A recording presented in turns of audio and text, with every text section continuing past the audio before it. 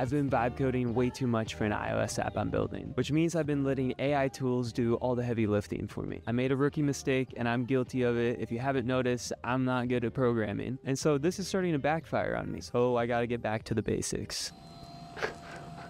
Okay, so this is what I'm working with. This is the front end, and this part works, works fine. AI helped me build a UI, and users can search for products. And the back end connects everything together. AI helped me generate API functions to process searches and submit new product information. And this is where everything falls apart. AI tools generated a Supabase database for me, which I wanted, but I didn't truly understand how they work. The database is a mess, and I can't properly store any products there. So Again, AI can generate code, but it can't teach me everything beautifully and explain how it works. And that's a huge problem. And I've been stubborn about this because right now I just want to push and move fast. But I need to actually understand what I'm doing so I don't run into even bigger issues later. So moving forward, I'm still going to be using these tools, but I need to get in the habit of asking them why they're recommending each change so I can learn along the process instead of just blindly following them. Follow to see if I can fix this or just break my app even more.